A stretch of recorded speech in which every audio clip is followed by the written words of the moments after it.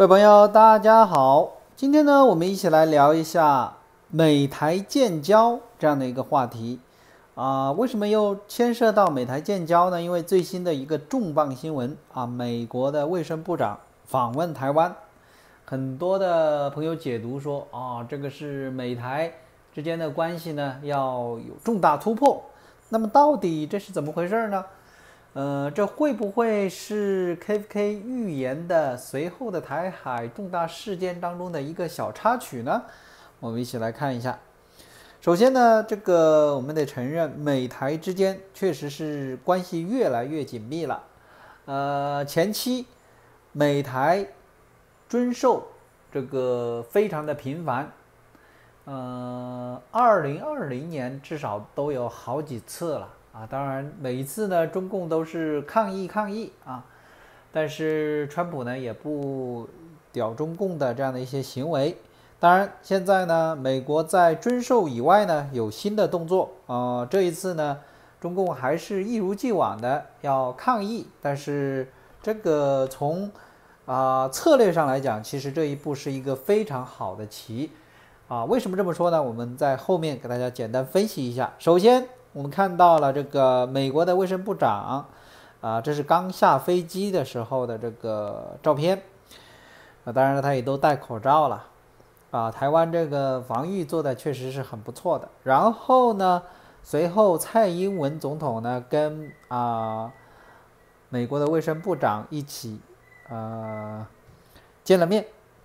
那么，川普派这个卫生部长到这边来。其实是意义是非常重大的。首先，我们不说他是什么样的部长啊，首先我们只看他是一个部长。这个部长到美呃到台湾来，这个实际上是一个非常重量级的啊。在我记得在蔡英文总统第二任期在这个宣誓就职的时候，当时有传言说这个啊美国的国务卿会这个蓬佩奥会到台湾来啊。现场祝贺，但实际上当时我们来看，这个确实是一个传言，呃，估计啊，美国当时也没有下定决心要做这一步。当然，现在我不知道他会不会再做这一步了啊。当然，这个时间点已经过去了，呃，因为现在美国和中共的这样的一个关系急剧的恶化，当然这个都是中共一系列的动作导致的。呃，现在呢？美国以这个卫生部长派过来，我觉得也是一个非常重量级的。这个部长可以说就是跟蓬佩奥这个国务卿可以说是等同的这样的一个啊行政官员水平吧。当然，这个也是非常合理的。呃，首先我们得说，这个是四十多年来首次啊，对于台湾来说这么重量级的一个人物到台湾来啊，是美国的。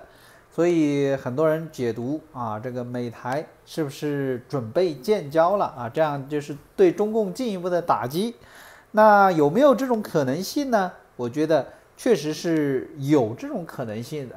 但是呃，在大选之前会不会出现这样的动作？我觉得可能性不大啊，可能性不大。呃，按照这个 KFK 的预言，这个台海重大事件呢？应该是在二零二二到二零二三年，那么在这个之间啊，也就是在这个之前，现在才二零二零年啊。如果说美台真的这种名义上的就是正式宣布要建交的话，中共估计肯定是会有所反应。那么这个反应啊，如果是军事选项的话，其实对台湾来说并不是一个好的选择，除非说啊，美国是想激怒。中共动手，然后呢，随后对中共进行反击，那会不会出现这种情况呢？呃，很有可能，但是我觉得现在这个时间点恐怕，呃，不是一个很好的一个选择。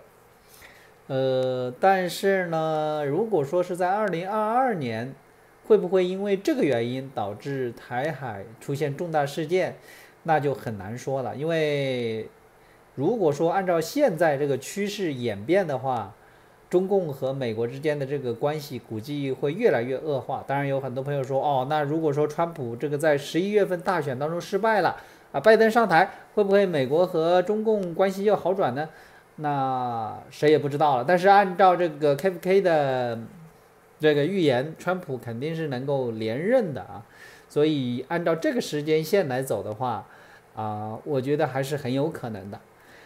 所以呢，呃，短时间内建交这种可能性不大，但是呢，两三年会不会出现啊重大变化，那就很难说了。很有可能会因为这个事件啊，导致这个台海的这个这个局势呢更加的紧张和扑朔迷离。